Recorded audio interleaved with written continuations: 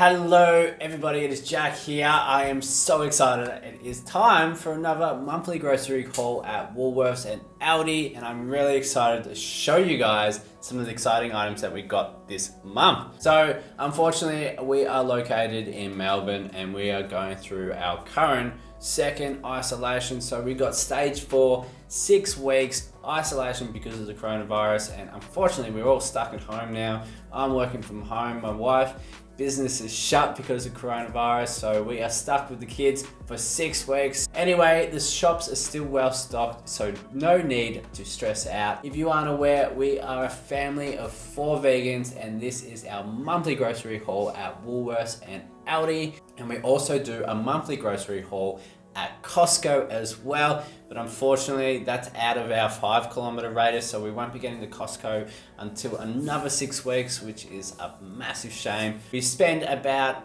$230 on this monthly grocery haul at Woolworths and Aldi, and then we spend about $180 at Costco on our monthly haul, and then throughout the month, we are spending about $70 $80 just little top up shops, mostly fresh produce like fruit and veg, and then any other items that we may have missed. Anyway, I love showing you guys these bulk monthly hauls, so let's get straight into it right now.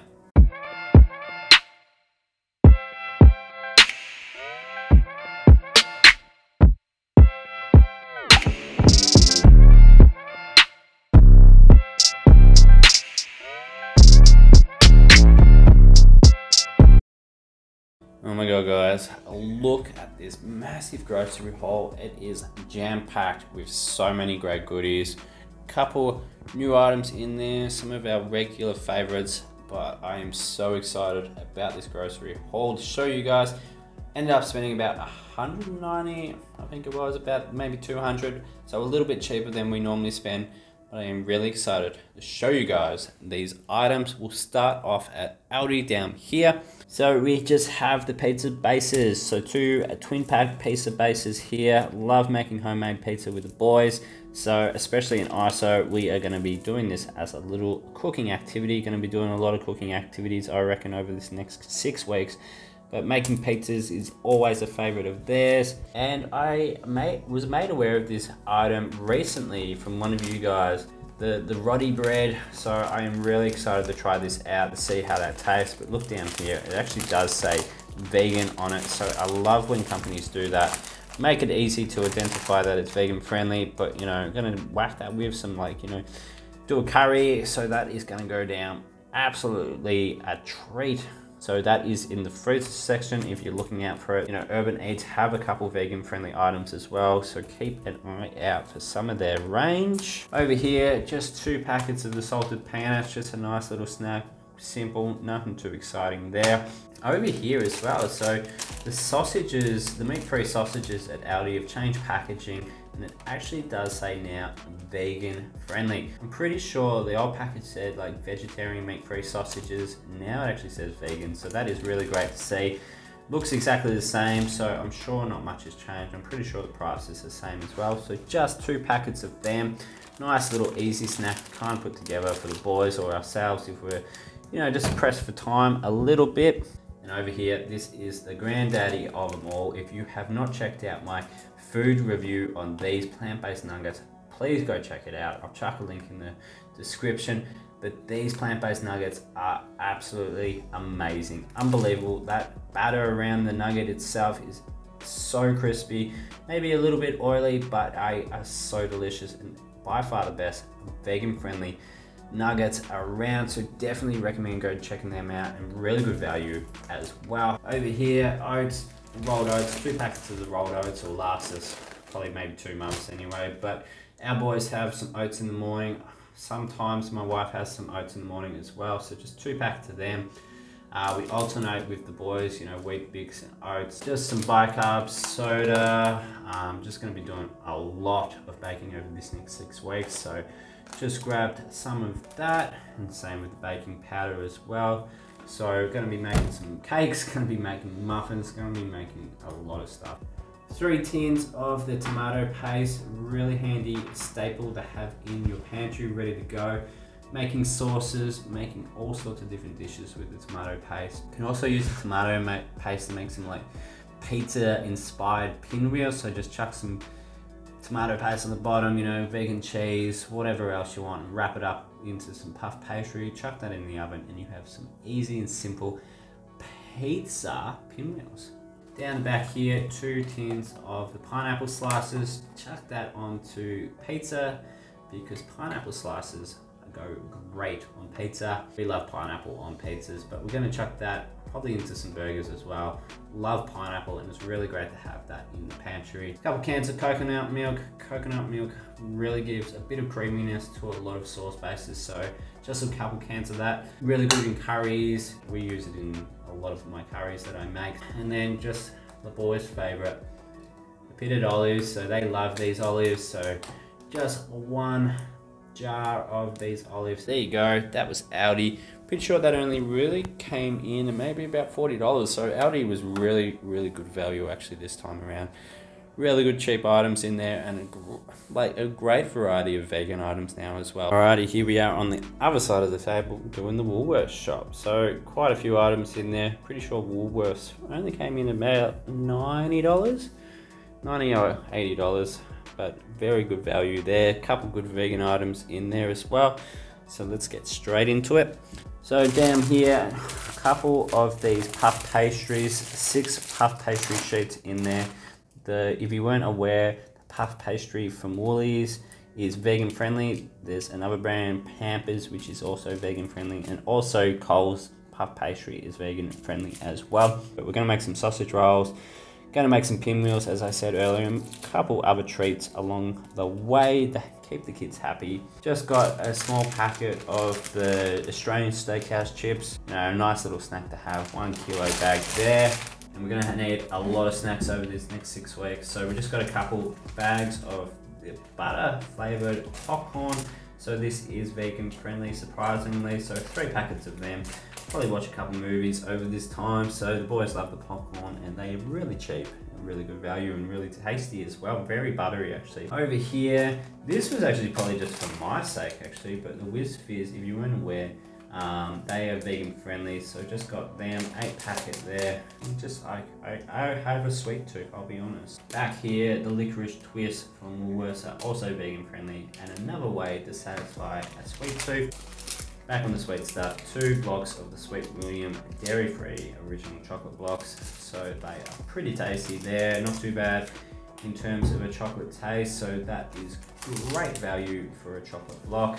And over here we have not one, not two, but three of the Ritz crackers. Now you're probably wondering why I got three of these small packets. Why didn't I just get a big box? But these were on special and it worked out cheaper if I got three of these original ones by themselves. So, you know, chuck that with some hummus, chuck that with some of this cream cheese at the back here, whatever. So that'll be really great to have for the kids. The back here, as I said, the Made With Plants cream cheese, garlic, and chive.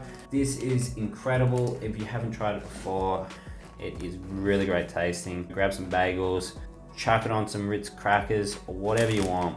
This is really great tasting. One of the best cream cheeses that I have tasted. They've re-released their range and have come out and produced a phenomenal effort in producing some of the best cream cheese around. Back here, if you haven't tried this before, this Fable plant-based braised beef is absolutely delicious. It is incredible how well it tastes and how similar in texture it is to actual braised beef. So it's actually made from mushrooms, but it tastes absolutely nothing like mushrooms. So just got one of these as a little treat item. Probably do like maybe a stew or something with this. I'm not too sure at the moment, but you know, that is very tasty. Just two loaves of bread. We've got some bread from Costco recently, but with us all being home now, we'll probably go through a bit more bread now with some toast, sandwiches or whatever for the kids. And as I've said in the past, just be mindful that some bread isn't vegan friendly, but this one is. So look down there, suitable for vegetarians and vegans. And then this one, the Cooler plant-based yogurt, by far the best yogurt going around. Very tasty, incredibly delicious. They've got a couple different flavors out there. So this is a blend of coconut, cashew, and almonds. So all the good stuff in there. The kids love this yogurt. So damn, here got pulse pasta from San Remo. And then also the spaghetti pulse pasta. Unfortunately, Aldi used to sell some pulse pasta, but for whatever reason, they've stopped doing it now. So this is actually pretty expensive in comparison to what they used to have at Aldi. Also up the top there it says vegan friendly, so that is great to know. Over here, chickpeas. So you know, if you watch my videos, you know I absolutely love chickpeas and I generally get them in cans, but after last month's more of a whole food sort of grocery haul, a lot of people were saying you should get dried chickpeas and dried lentils, dry lentils and all that sort of stuff. So I'm gonna try the dry chickpeas because I know I love chickpeas. So I'm gonna try this out. Just soak them for a little bit. I'm pretty sure it's soak them for about eight hours or whatever, but gonna give this a shot. Really actually works out just as cheap as getting them in these packets as you do in the cans. But really excited to try this dried chickpeas out. Down here, just the iron melts, just to supplement our kids. So got a couple dietary supplements in there. So some iron, vitamin B12, vitamin C, so that is really great. They love these ones. They they they say they're lollies, but you know they're great tasting for them, I guess. So that is a great way to try to get them some other little vitamins into them. So we just got one packet of that. So just over here, two cans of the lentils, going through lentils a little bit more, but as I said, if it goes well with the chickpeas, we'll probably switch to dry lentils, and that's the same with the black beans. Over here, just got the block of the Copha. So just gonna be doing a lot of baking over this next six weeks. So pretty much just coconut oil. So that is gonna be handy in a lot of different baking that I'm gonna be doing over the next six weeks. Same with the icing sugar as well. And then over here, just two liters of the soy milk. Really enjoying the Woolworths soy milk at the moment really good value as well. Down here, to go with that cream cheese, that delicious cream cheese is these bagels. Vegan friendly as well, four bagels in there, so I'm really gonna be loving that. Back here, really having a massive run on the, and love of the shapes at the moment. The barbecue shapes are vegan friendly, so just a little snack to have.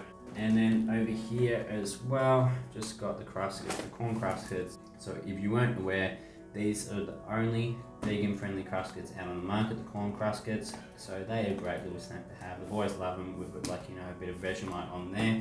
So that is great. Just some olive oil over the back here. And then finally, we have two packets of the oat cappuccino. You know, I, if you've been watching my videos, I'm loving these cappuccinos at Woolies at the moment. But unfortunately, you guys keeps taking all the soy cappuccinos. I still haven't found the soy cappuccinos. You know, I was having a good run on those, but you know, I can't seem to find any at the moment at any of my local Woolworths, but the oat one's not too bad as well. So if you love your coffee, these little satchels are really convenient and really great tasting as well. And lastly, we've just got our fruit and veg. It's about 50, well, probably about $40. So just got some blueberries, some zucchinis, tomatoes, capsicum, cucumber, celery, some spinach. I love these bags. I love these bags. Some broccoli, some oranges, some apples, and of course, the staple of a vegan diet is avocados. So just a little top-up shop there with the fruit and veg. We've got a bunch of bananas already in our pantry, uh, in our fruit bowl, so that is ready to go. Some other mandies and all other stuff as well. But we love topping up, like I said earlier, about $50, $60 a week in our fruit and veg. But look at that, that is so much food, and this is gonna go down a treat this month. So I'm really excited to get into some of these items. And I really hope you enjoyed this little insight into what we've purchased this month.